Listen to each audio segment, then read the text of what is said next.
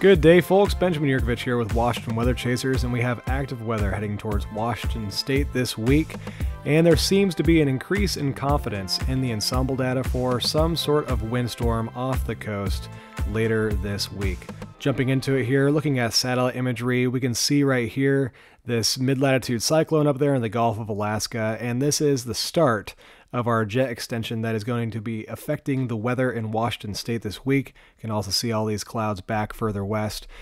And looking at the next couple days here, today is going to be mostly dry. Then we're going to get clipped by the tail end of a cold front on Wednesday, and then it's going to dry out again for a good chunk of Thursday. Jumping ahead to the European model here, looking at Thursday it's mostly dry, and then we have the approach of the atmospheric river on Thursday evening through Friday morning, and that's going to pack a punch, especially on the coast where it's going to end up being pretty windy, and then we're going to get some post frontal showers. But look at what's lingering behind it. We got ourselves a mid latitude cyclone developing on the deterministic run of the European model now, but we're going to talk about that a little bit later. Looking at the rainfall totals for the atmospheric river, it's not looking totally extreme, but out there in the Olympic Peninsula, the European model is calling for there being up to 5 inches of rain on the western slopes of the Olympics, which is not totally uncommon out there, and anywhere from 2 inches or so out there on the coast and less inland. But Still a good soaking for Washington State, could cause some rises on the rivers. GFS is showing something similar, maybe a little bit less rain for the Olympic Mountains. And now looking at the winds for that front on Thursday into Friday, you can see that it is going to be pretty breezy. This is the sustained winds, sustained at around 28 knots out there on the San Juan Islands and around 30 knots out there on the coast.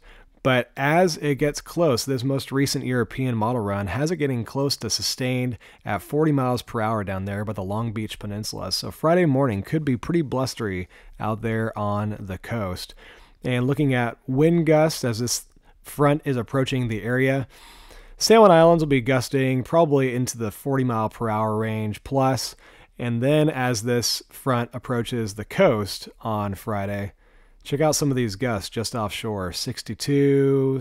This most recent European model run brings a pretty reasonable blow down there to the Long Beach Peninsula. Been keeping an eye on this, and that could be a pretty dynamic cold frontal passage down there if that were to occur. And now, what I'm most interested in is this storm development that we've been keeping an eye on for several days. The deterministic models kind of backed away from the idea for a couple days, and then they're starting to bring it back. Although, not quite as deep and strong as we were seeing a few days ago. But regardless, the signal that the models were sniffing out a couple days ago seems like it was a good one. And this could still pack quite the punch depending on exactly where this goes. And also, the depth is still in question. But it's looking like on Friday evening through Saturday, there could be a mid latitude cyclone still that's going to develop somewhere off the Washington coast. And the European model brings it up across Vancouver Island with a pretty decent pressure rise down there on the coast and also in the interior here.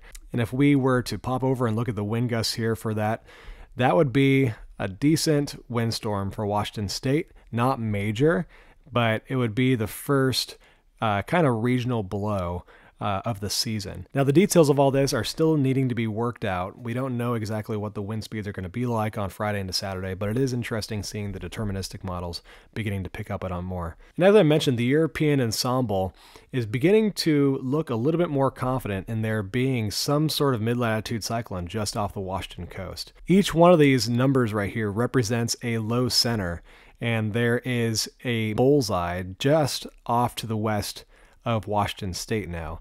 Whereas the last couple days, it's been a bit more spread out, still showing there being some ensemble member lows. But this is what we were looking at last weekend, where we had a mean bullseye of these deep monster mid latitude cyclones. And then that kind of went away. And as I already mentioned, we had the hints of there still being something, but now we're starting to get more of a signal again as we get closer uh, of there being a mid latitude cyclone somewhere near the region.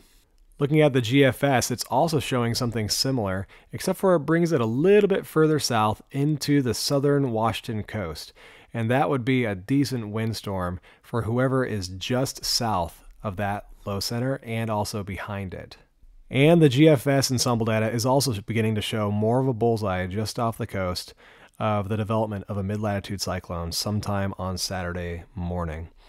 And right now, it seems like the area that we're watching for this low to go is anywhere from probably North Vancouver Island to Northwest Oregon. That's kind of our landfall zone that we're going to be keeping an eye on for this thing. All right, folks, if you're enjoying these videos, please make sure and like and subscribe. And if you like this video, you'll probably like that one. Talk to you later.